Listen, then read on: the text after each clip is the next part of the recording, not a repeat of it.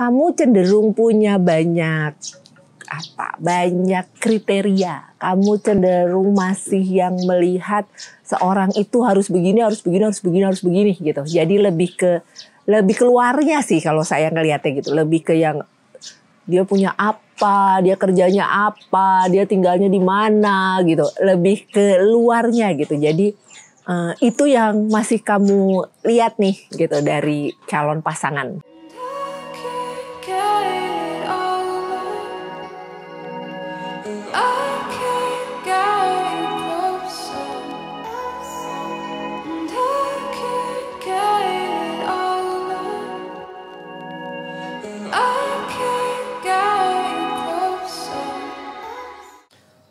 ketemu lagi bersama saya Madam Ara dalam Pick a Card. Kali ini kita mulai seperti biasa yang generalnya dulu ya.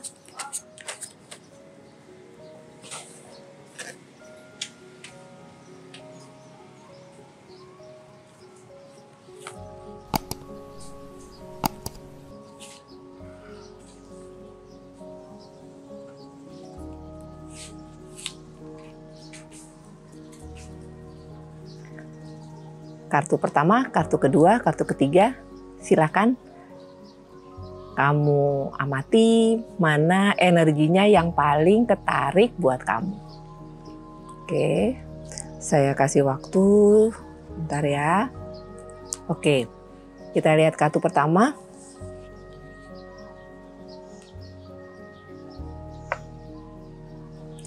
Ada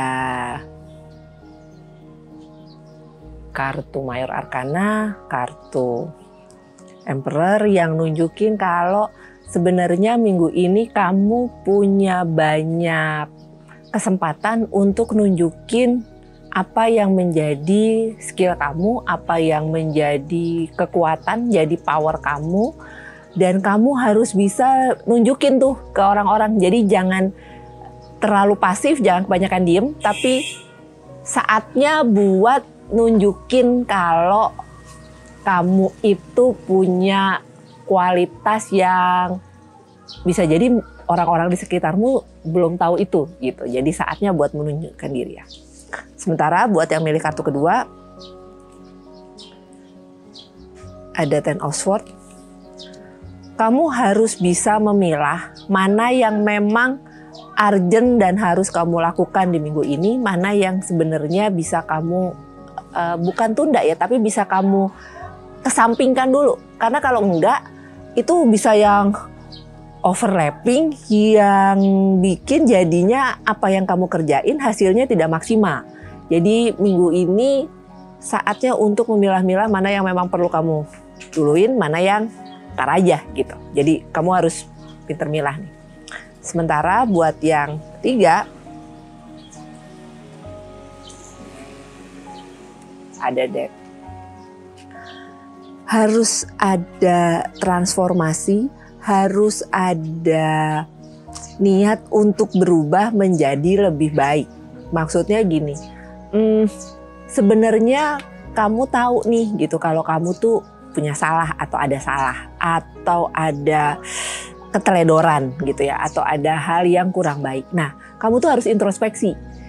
Jangan malah ada yang ngingetin kamunya malah malah nyolot gitu, kamunya malah emosi gitu. Jadi di sini saatnya kamu untuk introspeksi, gak mesti nungguin orang lain buat ngingetin kamu, tapi kamunya harus bisa sadar diri. Oh, aku tuh kurang disiplin. Oh, aku tuh kurang pinter nyimpen duit dan sebagainya. Jadi harus ada transformasi, harus ada perubahan ke arah yang lebih baik nih. Oke, itu untuk yang general. Sekarang kita masuk ke karir dan keuangan. Kita lihat untuk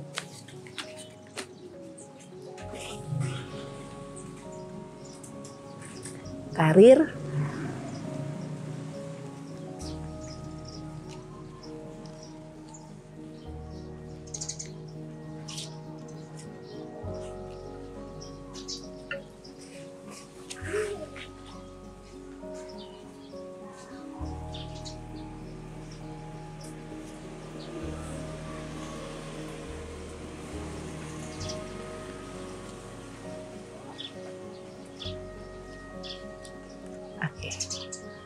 pertama, kartu kedua, kartu ketiga.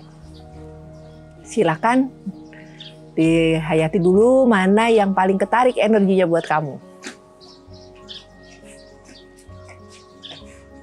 Oke, yang milih kartu pertama untuk karir, kamu mesti bisa lebih tegas, mesti bisa lebih memposisikan diri kamu supaya kamu tidak yang nggak enak hati untuk nolak pekerjaan yang sebenarnya itu bukan job desk kamu, bukan pekerjaan kamu gitu. Kamu mungkin karena udah ngerasa udah lama gitu ya, jadi kamu cenderung yang ya udah sih nggak apa-apa deh gitu ya udahlah dijalanin deh gitu jadi harus bisa lebih tegas nih gitu. Aduh nggak bisa gitu. Aduh nggak ini gitu. Jadi harus bisa lebih tegas nih. Buat bukan sebenarnya bukan nggak mau ngerjain sih tapi jangan sampai yang menjadi pekerjaan utamamu jadi terbengkalai. Sementara untuk yang milih kartu kedua ada pekerjaan yang memang mau tidak mau harus kamu yang lakukan, harus kamu yang ngerjain. Karena memang e, inimu di situ gitu. Maksudnya kalau orang lain cenderungnya hasilnya tidak seoke, tidak semaksimal kalau kamu yang turun tangan sendiri, kamu yang mengerjakan sendiri. Gitu. Jadi buat yang milih kartu kedua nih e, harus bisa punya apa ya, punya gini gitu, punya hmm, punya keyakinan, harus bisa punya kepercayaan diri kalau oke okay, saya mampu nih ngerjain ini gitu. Sementara untuk yang milih kartu ketiga ada sih Oswald. Pekerjaan ada aja, tapi cenderungnya kurang menantang gitu. Cenderungnya biasa aja. Nah, itu yang bikin kamu agak ngerasa apa ya bukan capek sih tapi lebih ke aduh kok kayaknya gini aja ya gitu uh, kerjaan ada tapi hasilnya nggak terlalu kelihatan gitu jadi uh, kamunya ngerjainnya nggak yang exciting banget gitu nggak yang uh, semangat kayak uh, dulu-dulu gitu jadi udah mulai agak menurun nih gitu uh, semangatnya oke itu buat karir untuk keuangan tadi sudah Sekalian dipilih, ini kartu pertama, kartu kedua, kartu ketiga ya. Nah, yang milih kartu pertama, oke. Okay. Hmm. Ada demun. Untuk keuangan bisa dibilang sebenarnya cukup aman.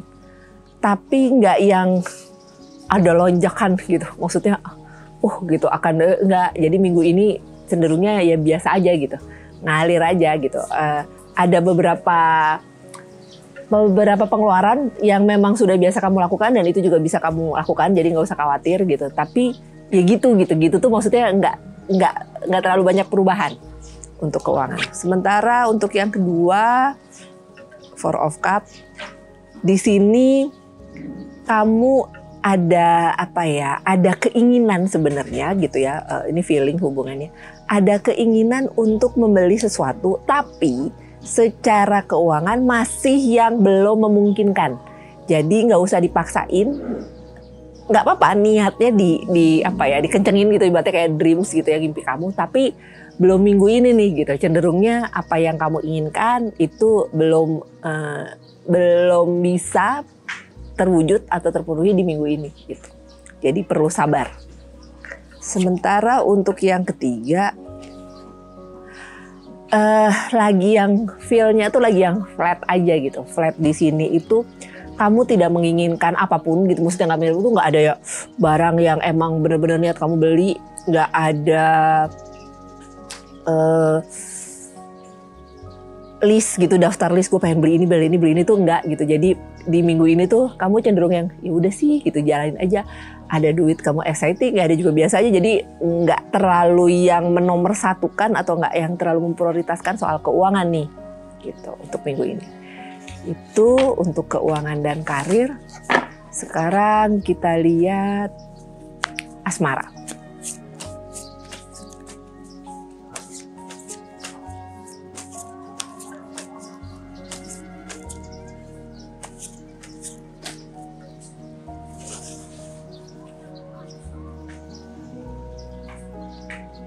Yang single dulu ya.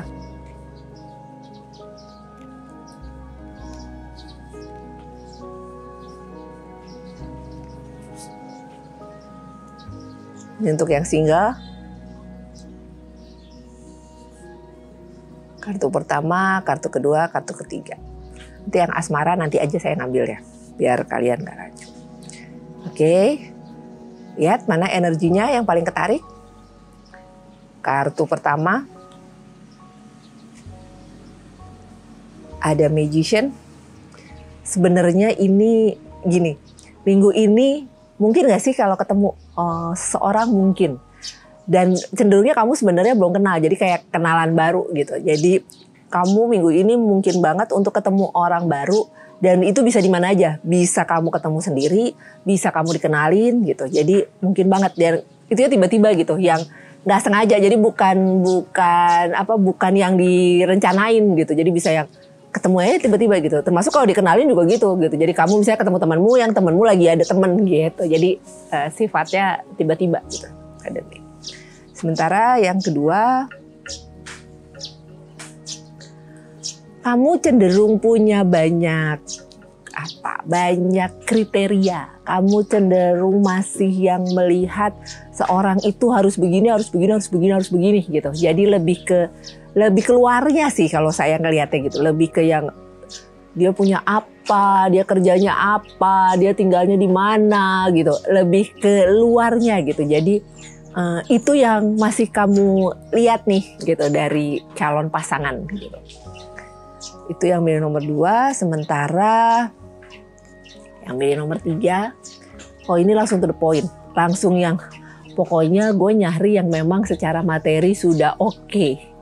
Gue maunya yang sudah mapan, yang sudah stabil gitu. Gitu. Jadi uh, bukannya nggak boleh sih, ini lebih ke itu itu pilihan ya. Cuman maksud saya sebaiknya jangan hanya dilihat dari tampilan luarnya aja, jangan dilihat seorang itu dari sudah jadinya gitu. Karena akan lebih oke okay kalau ya mulainya atau berjuangnya sama-sama gitu dari bawah. Itu untuk yang single.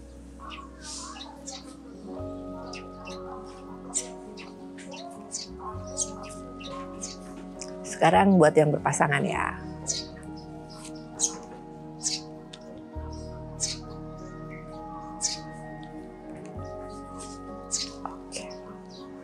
Kartu pertama, kartu kedua, kartu ketiga. Pilih mana yang ketarik energinya buat kamu.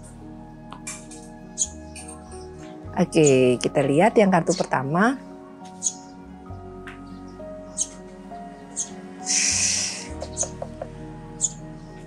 Minggu ini komunikasi agak ini nih, agak gitu yang hmm, uh, kamu dengan kesibukanmu sendiri, pasangan juga begitu gitu. Nggak ada masalah sebenarnya, tapi gregetnya kurang gitu. Itu yang harus kamu cari, harus kamu gali, harus kamu temukan jalan keluarnya. Jangan sampai ya udah sih gitu, jalan gitu aja gitu. Jangan sampai keterusan. Jadi ini mumpung nih gitu, mumpung masih awal-awal jangan sampai keterusan. Kamu yang harus nyadar yang oke okay, gue nggak bisa gini nih, gue harus gini nih gitu gitu. Jadi supaya nggak tadi intinya supaya nggak keterusan. Sementara yang kedua, hmm, ada Night of Swords. Kalau pasangan punya kesibukan dan pasangan cenderungnya lebih ini sih biasanya eh, buat kalau kamu cowok ya gitu pasangan punya posisi lebih tinggi, dia punya power, dia punya gitu kan ya nggak usah terlalu merasa terintimidasi, nggak usah terlalu merasa insecure. Justru kamu harusnya lebih bangga, kamu harusnya bisa meng, lebih mengapresiasi dia. Terus jadi bukan jadi rese gitu loh, bukan jadi yang malah uh, kamu ngekang dia gitu ya atau kamu nggak suka gitu dengan pencapaian-pencapaian dia jadi tadi harus dibalik uh, harus dirubah nih mindsetnya gitu. Jadi kalau pasangan cenderung lebih sibuk cenderung dia lebih berhasil usahakan jangan merasa malah insecure dan jadi rese. Oke itu yang kedua. Sementara untuk yang milih kartu ketiga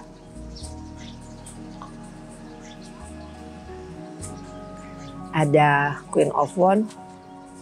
Gini,